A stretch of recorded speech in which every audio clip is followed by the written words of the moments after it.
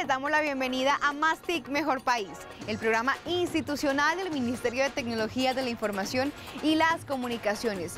Hoy tenemos un programa muy especial ya que la ministra de las TIC, Silvia Constaín, entregó su informe de rendición de cuentas en la que destacó la ley de las TIC y la subasta del espectro como pilares fundamentales para llevar conectividad a más de 20 millones de colombianos. Bienvenidos.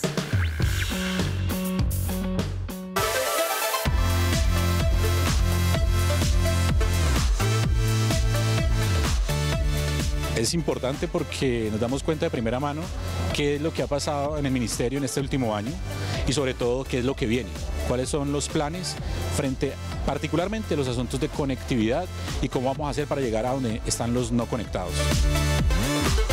Para mí es importante asistir a estos eventos ya que nos damos cuenta eh, todas las facilidades que tiene la tecnología. Eh, ratificar que el Ministerio está desarrollando diferentes estrategias para que muchas empresas del sector real y del sector educativo puedan desarrollar diferentes actividades y mejorar la productividad de las empresas y mejorar la educación a través de las tecnologías de información.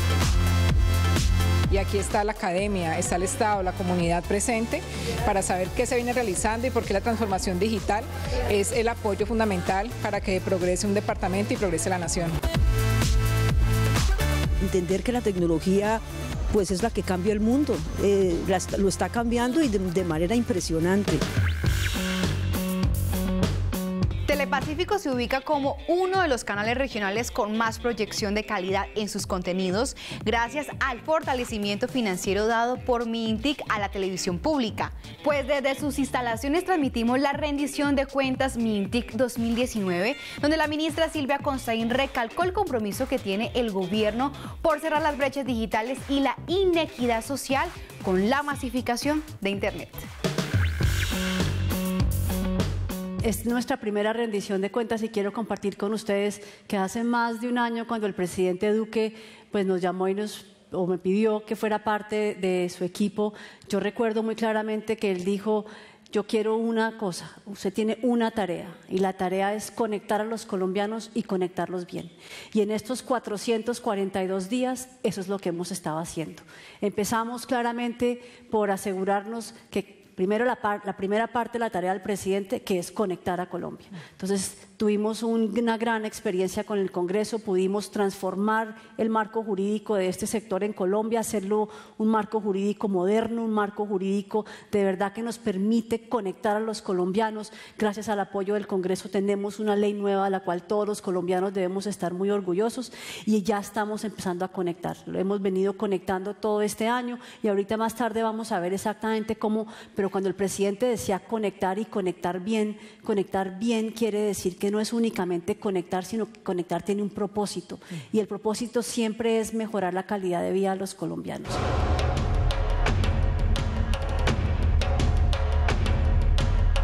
El progreso es bueno, tenemos que progresar. Los hijos pueden comunicarse, hacer sus tareas. Acceder a internet mucho más rápido, fácil. Ha sido un año en que recorrimos los cuatro puntos de la geografía nacional. Conociendo las necesidades de todos los colombianos comprometiéndonos con las metas de llevar conectividad, de tener una mejor televisión pública, de tener unas TIC más incluyentes, de generar emprendimiento para todos los colombianos, sin importar que los beneficiados de nuestras políticas se encuentren en un corregimiento alejado o en la ciudad. Llevamos un año en que nos permitimos soñar con que todos tengamos las mismas oportunidades. Hemos sorteado dificultades, pero también hemos encontrado soluciones para que cada vez más se cambien vidas. Señoras y señores, la conectividad ha llegado al Palmor. Esto nos trae más progreso y mejores oportunidades. Nos trajo una zona digital muy importante para nosotros los del pueblo. Un avance muy positivo que necesitamos los, los campesinos. El futuro digital dejó de ser una promesa. Es una realidad que ya es palpable. Tener un mejor país es posible y lo estamos logrando. Más TIC, mejor país. El futuro digital es de todos.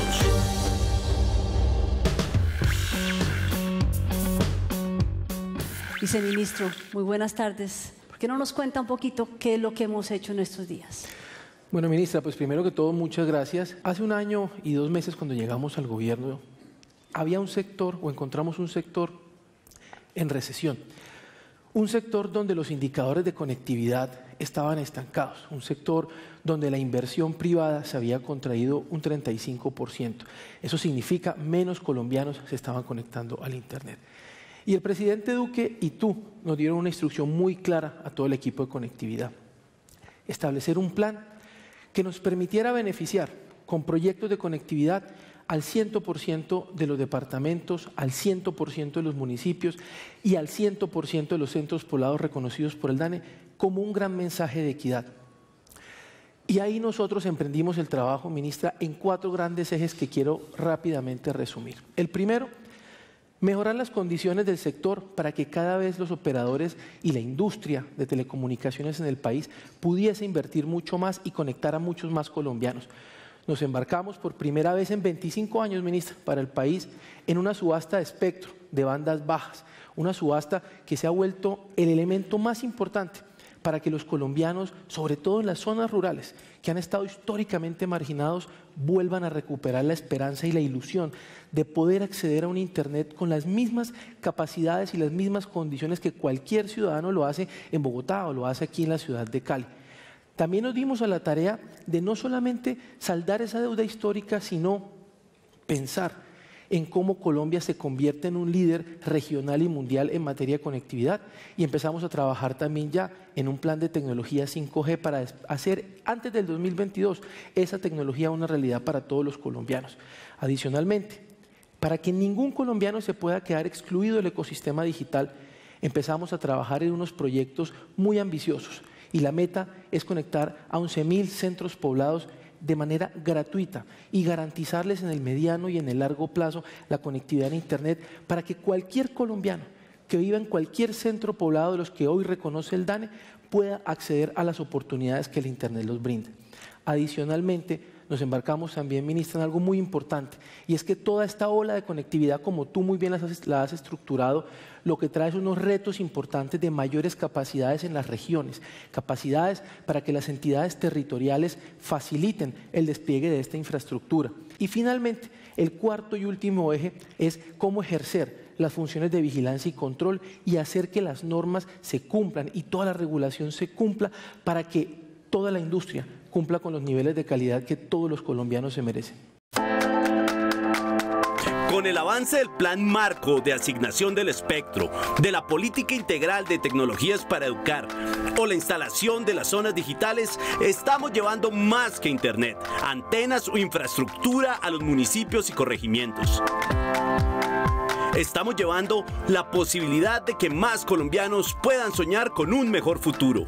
Estas son solo algunas de las iniciativas que tenemos en el Viceministerio de Conectividad y Digitalización para que Colombia se ponga al día y a la vanguardia en temas de conectividad. Tener un lugar en el que todos podamos conectarnos es tener un país con mayores posibilidades de desarrollarse, de competir, de emprender, de educarse, en general, de ser mejores. Llevamos un año de gestión en el que ya se evidencia que el futuro digital comienza a ser una realidad. La conectividad ya es nuestra. Más TIC, mejor país. El futuro digital es de todos.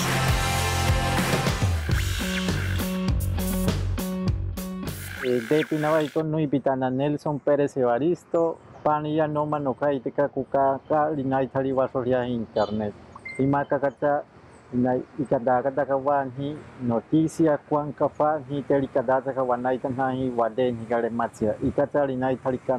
hi internet.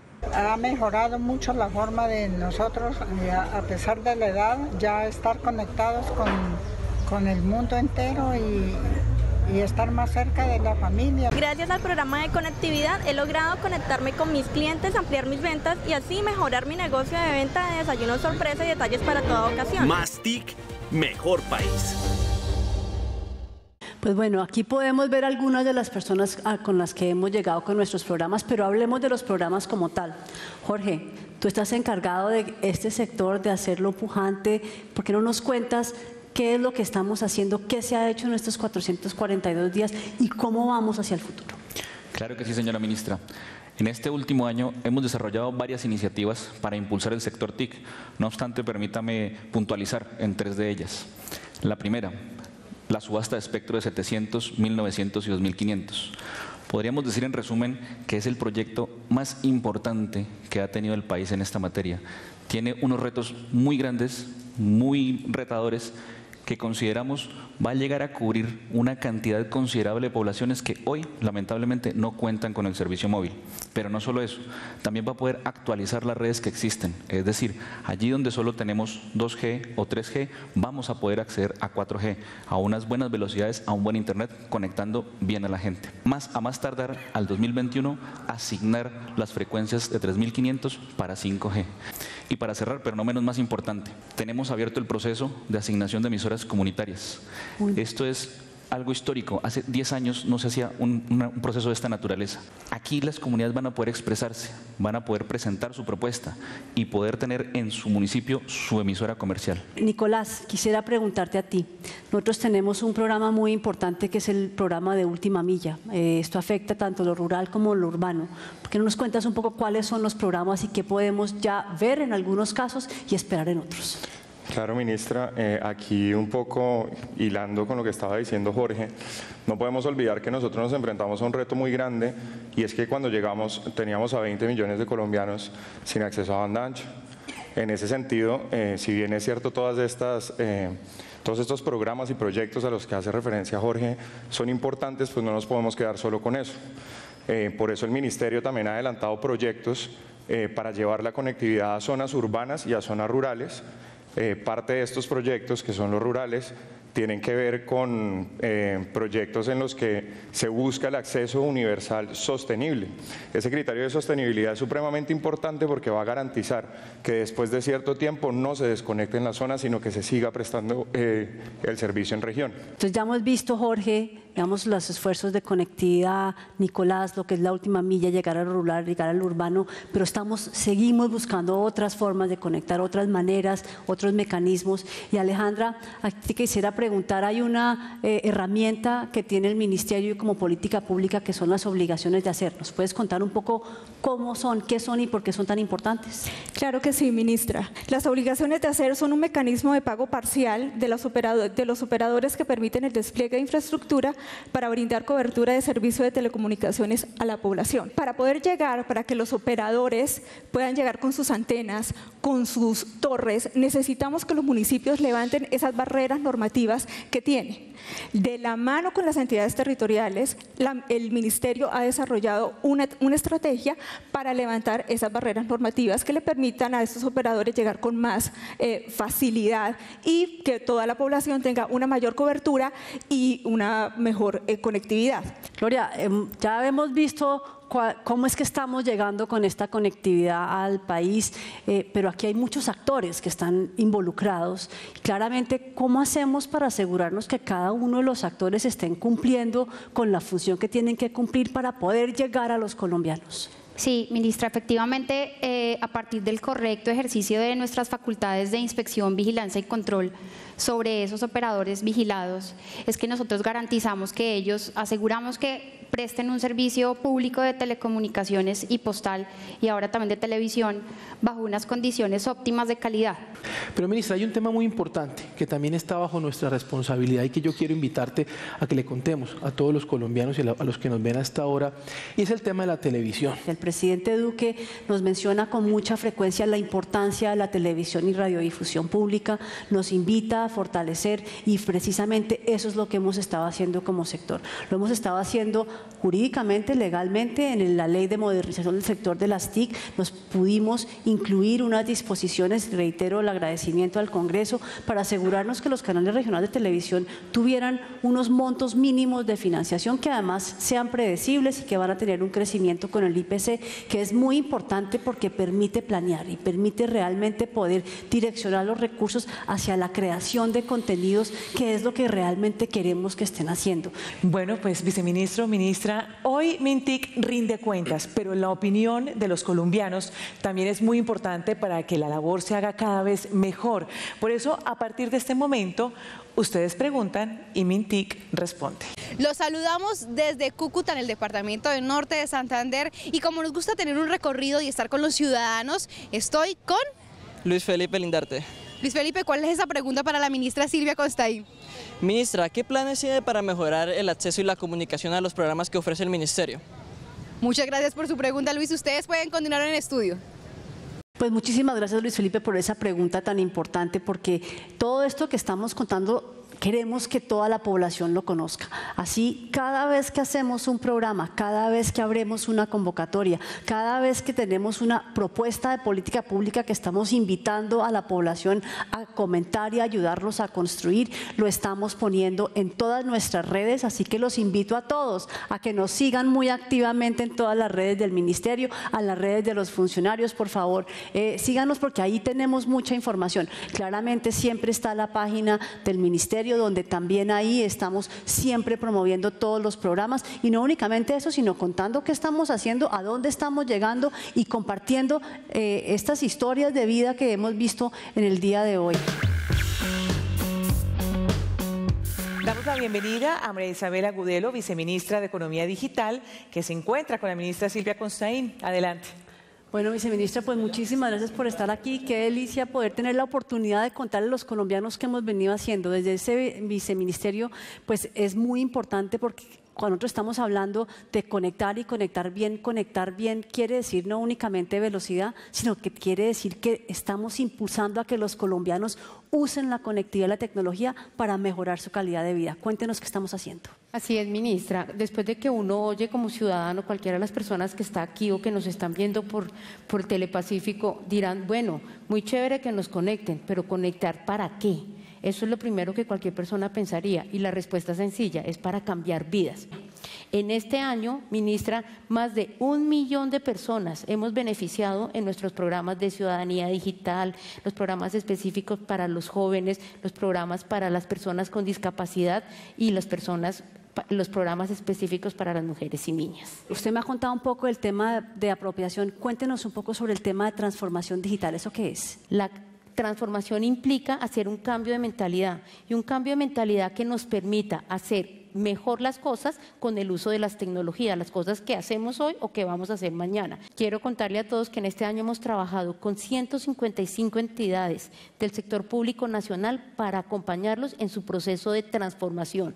Y en el tema de transformación a nivel de empresas, con todos nuestros programas hemos atendido a más de 114 mil empresarios, acompañándolos en su ruta de transformación digital.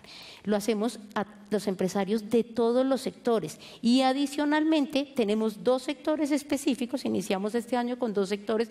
¿Cuáles son estos sectores? El sector agrícola y el sector, los sectores de la economía naranja pues esto, mejor dicho, nos genera mucho entusiasmo, pero esas palabras y estos temas de las economías emergentes pues requieren unos conocimientos especiales. ¿Qué estamos haciendo para generar ese talento que necesita este sector? Claramente, ministra, ¿qué hacemos con la industria? Atendemos desde los empresarios los emprendedores con nuestro programa de apps, más de 38 mil emprendedores han sido atendidos acá eh, este año, o los empresarios de la industria que, estén, que quieran fortalecerse o desarrollar un proyecto, o incluso aquellos que ya están maduros y quieren internacionalizarse. Nosotros los acompañamos. Y el, el Gobierno Nacional, a través del Ministerio de TICS, implementamos un programa agresivo de formación al talento humano, que va desde niños que van entre los 8 y los 12 años, programación para niños y niñas, son 700, 780 profesores capacitados y 15 mil niños que están hoy en etapa de capacitación en esa edad. Siguiente etapa, públicas, ¿verdad? De las escuelas públicas del país. Siguiente etapa, currículos digitales, niños entre los 12 y 16. Esos ya son niños más grandes y tenemos dos currículos que los incorporamos en las escuelas públicas del país y ahí vamos a tener 20 mil niños capacitados, 480 profesores en estos dos currículos. Siguiente etapa, ya personas que ya son bachilleres y que quieren aprender las tecnologías de eh, inteligencia artificial y científicos de datos. Ya tenemos hoy 5 mil personas capacitándose en eso. Y finalmente tenemos para las eh, personas que ya son profesionales y quieren especializarse en estas tecnologías de la cuarta revolución industrial, eh, los apoyamos en sus, en sus especializaciones con 30 universidades certificadas en el país. Sabemos que hay muchos empresarios que no tienen sus empleados capacitados en estos temas y es importante acompañarlos en ello. Entonces, ¿qué hemos hecho? ayudar a estos empresarios a capacitar a sus empleados en habilidades digitales. Empezamos con, o llevamos en este año 77 empresas que equivalen a 480 empresarios.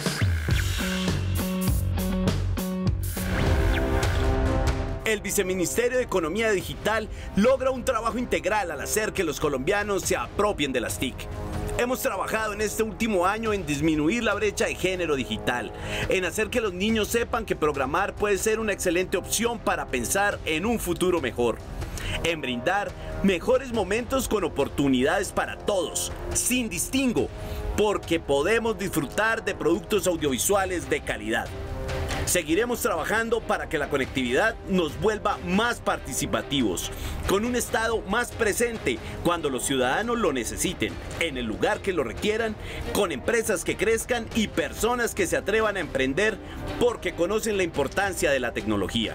Conectividad es equidad y estamos logrando que el futuro digital sea realmente para todos. Más TIC, mejor país. El futuro digital es de todos. Claudia, ¿por qué no nos cuentas un poco sobre cuáles son los esfuerzos que hacemos desde el Ministerio para que aquellas personas que se encuentren en una condición de discapacidad puedan acceder y puedan tener una mejor calidad de vida? Bueno, ministra, desde el Ministerio TIC trabajamos por la inclusión de las personas con discapacidad en el entorno digital, garantizando así su acceso y apropiación a las nuevas tecnologías. De esta manera, a través del programa Convertic, se han descargado más de 172 mil licencias de los software JOWS y Test para personas con discapacidad visual y baja visión en el país. A través del centro de relevo se han realizado más de 500 mil comunicaciones entre personas sordas y oyentes en el país a través del servicio del, del centro de relevo y del de interpretación en línea. Finalmente, con el programa de Cine para Todos, que beneficia a personas con discapacidad visual, auditiva y cognitiva, se han beneficiado más de 18 mil personas que han asistido a nuestras funciones de cine para todos. Pero un elemento fundamental es que todo ciudadano tiene una relación con el gobierno y hay momentos donde uno pasa por unos eh, lugares y ve unos ciudadanos con una cantidad de papeles, unas fotocopias a 150, que les ha tocado hacer una cantidad de vueltas y pensamos, bueno, los TIC tiene que servir para que el ciudadano reciba servicios de una manera mucho más eficiente, ciudadano entendido como persona o como empresa. ¿Por qué no nos cuenta qué estamos haciendo precisamente para lograr este objetivo? Así es, ministra. Estamos trabajando en cinco temas en busca de hacerle más fácil la vida a los ciudadanos en su interacción con el Estado y en optimizar la labor de las entidades públicas, haciendo más eficientes sus procesos. Primero, ministra, estamos trabajando en gobierno digital. Hemos creado el portal único del Estado colombiano en donde estamos integrando trámites y servicios de todas las entidades públicas. Hemos articulado 155 entidades del orden nacional que le permitirán a los ciudadanos eh, consultar y gestionar sus trámites, sus trámites y servicios desde este portal. A nivel territorial, hemos integrado al portal 2.700 portales web de entidades territoriales en donde los ciudadanos también pueden consultar toda la información de sus territorios. ¿Qué estamos haciendo para impulsar que nuestro sector privado sea el sector privado más innovador, que esté realmente usando tecnologías de punta y siendo cada vez más, generando más oportunidades de empleo, mejores condiciones de vida para los colombianos? Claro, ministra, los empresarios vieron en la transformación digital la oportunidad de automatizar sus procesos, de aumentar la productividad, de incrementar las ventas. Y es así como el Ministerio e Impulsa crean los centros de transformación digital empresarial en las regiones. Creamos 18 centros donde estamos ayudando paso a paso a las empresas a generar una acción de transformación digital. Ya hemos apoyado a 3.800 empresas en dar ese paso hacia la transformación digital. Hola amigos, me llamo Francisco Tarquino y les hablo desde Yopal Casanare, El Llano. ¿Por qué es importante estar conectados? Porque es indispensable que nosotros estemos en relacionamiento, haciendo networking con otros emprendedores, compartiendo pensamientos y experiencias positivas y constructivas. Mi nombre es Diana Gallego, los saludo desde la Plaza de Bolívar de la ciudad de Pereira. Aprovecho la conectividad en los espacios públicos para realizar investigaciones y desarrollar actividades correspondientes a mi carrera. Mi nombre es Silder Pereira Farías, un saludo de la comunidad de Naranjales en Amazonas. Mintic rinde cuentas 2019. Más TIC, mejor país. A continuación, la Secretaría General presentará los temas transversales del Ministerio. Su gestión es de vital importancia porque combina mucho del trabajo con el ciudadano y el trabajo estratégico para poder llevar a cabo la parte del objeto misional del Ministerio. Eh, Luisa, muchas gracias por estar acá y por todo el trabajo que se hace desde el, desde el Ministerio. ¿Por qué no nos cuenta un poco qué está haciendo el Ministerio y cómo contribuimos tanto al cumplimiento de los objetivos que tenemos como país como aquellos que tenemos como globo en el sentido de los objetivos de desarrollo sostenible. MINTIC implementa múltiples iniciativas para ayudar a que el país avance. Solo para dar algunos ejemplos en relación con el ODS de reducción de las desigualdades, los esfuerzos, iniciativas eh, desde MINTIC se centran en eh, eliminar políticas y prácticas discriminatorias y promover legislaciones y políticas de inclusión, en fortalecer las capacidades regionales para permitir el acceso universal hacia el cierre de la brecha digital. Hemos apoyado también objetivos de desarrollo sostenible relacionados con la educación de calidad, el trabajo decente y el crecimiento. Pero para poder hacer todo esto, eh, Luisa, pues nosotros tenemos un presupuesto. ¿Por qué no nos cuenta cómo vamos en los temas presupuestales, por favor?